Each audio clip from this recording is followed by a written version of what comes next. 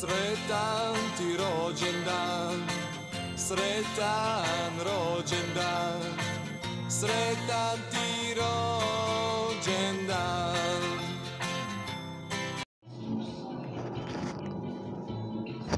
Sretan rođendan želimo jednome Saši iz Zagreba, rođenog rođenom u Senju. Evo ga.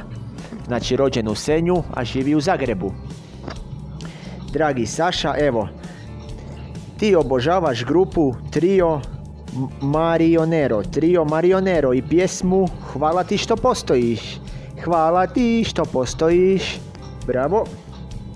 Evo, dragi slavljenice, slavljeniče, dragi Saša, uživaj u svom rođendanskom danu, da te radost i sreća prati i da ti se naravno dobro dobrim vrati. Eto ga, sve što imaš da zadržiš, a što nemaš da ostvariš. Kad je lijepo da uživaš, a loše da zanemariš. Eto ga, dragi slavljeniče, prije nego što uputimo i ostale rođendanske poruke iz naše redakcije, prijatelj Slaven će ti isto reći ono za sretan rođendan, sve što kaže i drugim slavljenicima, eto, na svoj zabavan i kreativan način. Evo ga, dragi Slavene, za, za Sašu iz Zagreba, evo, reci što god poželiš.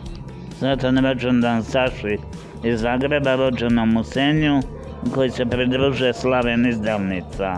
Tako je. Evo, dragi slavljeniće, i ja iz svog naselja Lučice, pored Delnica, ti još jednom želim sve najbolje. Dragi slavljeniće Saša, lijepo proslavi svoj rođendan, neka bude veselo, zabavno, opušteno, edukativno i naravno kreativno. Mi smo na kavici s kapućinom.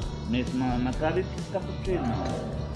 I sa, I sa kapućinom ti nazdravljamo za tvoj rođendan, za tvoj, za za tvoj poseban dan. Lijepe ti pozdrave, lijepe ti pozdrave šaljemo iz zelenog srca Hrvatske, Gorski Kotar. Budi sretan, vesel, radostan, uživaj dragi Saša u svom rođendanskom danu, kao što rekoh na početku, da te radost i sreća prati i da ti se naravno dobro, dobrim vrati. Uživaj i sretno.